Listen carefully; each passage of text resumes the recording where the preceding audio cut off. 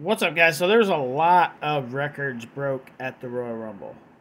Uh, so let me let me get to these ones that it shows here, but there's two of them that are not mentioned here. But this is about the audience pretty much. So the Royal Rumble makes history, largest audience in Royal Rumble history. Gate all time or the all time Royal Rumble gate record at 7.7 million plus up nearly 200% versus record set it in 2022. Merchandise sales up 135% versus record set in 2022. 200 million plus video views across platforms.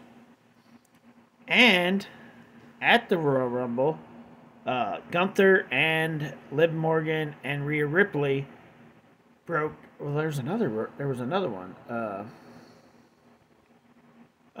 well, anyways, they broke the longest in the Royal Rumble. So Gunther was the longest man in the Royal Rumble, and Rhea Ripley and Liv Morgan, uh, which I, t- in my opinion, Rhea Ripley would be the longest because she come out first, so she she was in the ring first, so she had a little bit longer time because Liv come out second, but does the bell ring? I can't remember if the bell rings when she got in the ring or when they both got in the ring.